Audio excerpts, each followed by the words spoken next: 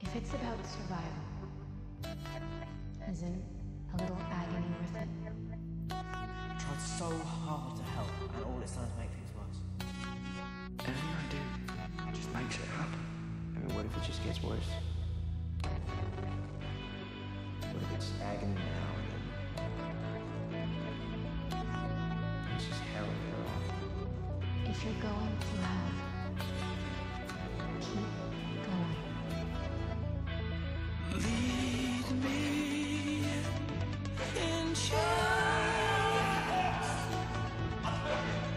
Strip me of shame.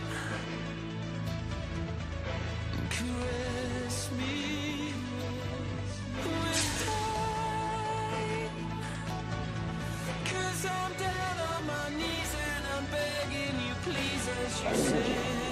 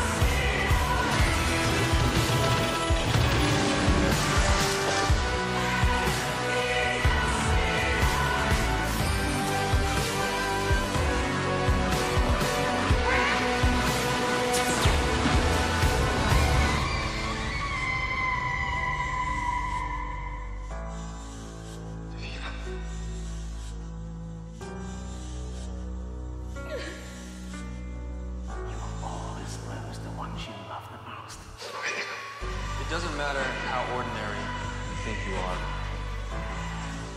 or how much of a screw up you think you've been. We all have the potential to be heroes.